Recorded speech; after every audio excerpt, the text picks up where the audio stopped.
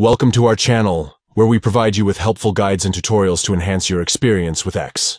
In today's video, we will walk you through a full guide on how to change your profile picture in X. If you want to personalize your X profile and make it more representative of yourself, this guide is for you. Let's get started. Step 1. Open X on your device. You can find the X app on your home screen or in the app drawer. Tap on it to launch the application. Step 2. Once you're in X, Locate the account icon in the top right corner of the screen. It usually appears as a small profile picture or an avatar. Tap on it to access your account settings. Step 3. In the Account Settings menu, look for the option labeled Profile. It's typically represented by an icon resembling a person or a silhouette. Tap on it to open your profile settings. Step 4.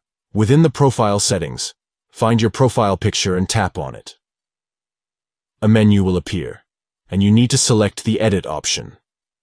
This will allow you to make changes to your profile picture.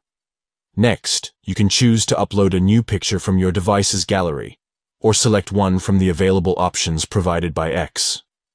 Take your time to find a profile picture that represents you and how you want to be seen by others. Once you've selected your desired profile picture, tap on the Save button to apply the changes to your X profile.